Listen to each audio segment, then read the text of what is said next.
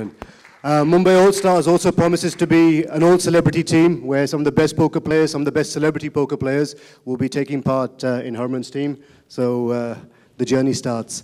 Um, last but not least, in alphabetical order, could I have the owners of Pune Knights on stage, please?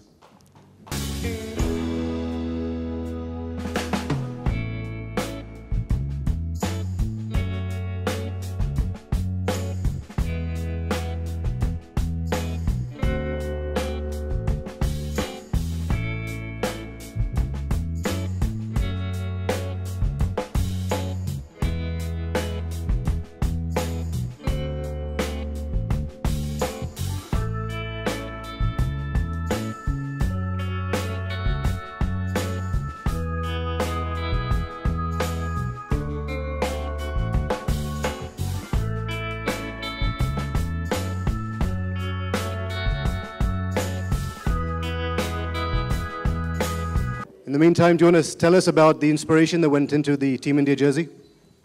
Hi guys, uh, big Delhi team, yeah, huh? I know all these guys. I meet them at the club playing rummy. By the way, they don't play poker.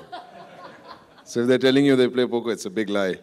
Uh, but I play poker. I've been playing it for a few years. Um, it's an incredible sport. In fact, it's so addictive that whenever I travel, I find a place or a community to play with.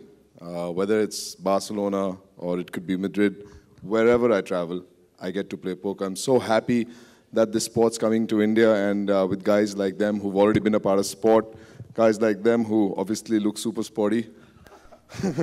but this is a mental game, so it's not about whether you look amazing like Shilpa. It's all about the head, and I'm very proud to be a part of it, uh, Shantanu.